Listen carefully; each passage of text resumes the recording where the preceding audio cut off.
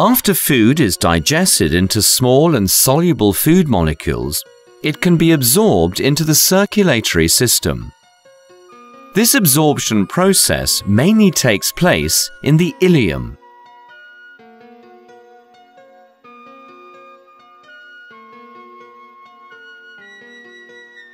On the inner wall of the ileum, there are a large number of finger-like projections called villi. Each villus has a lymph vessel called lacteal in the center. The lacteal is surrounded by a network of capillaries.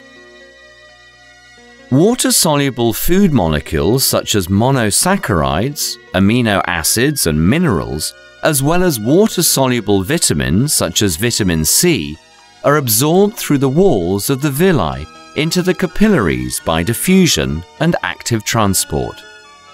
As the absorption of digested food into the blood increases the water potential of the content in the ileum, water is drawn into the blood by osmosis. On the other hand, fatty acids and glycerol enter the epithelium of the villus by diffusion. In the epithelial cells, they recombine into fine lipid droplets. The lipid droplets then enter the lymph in the lacteal.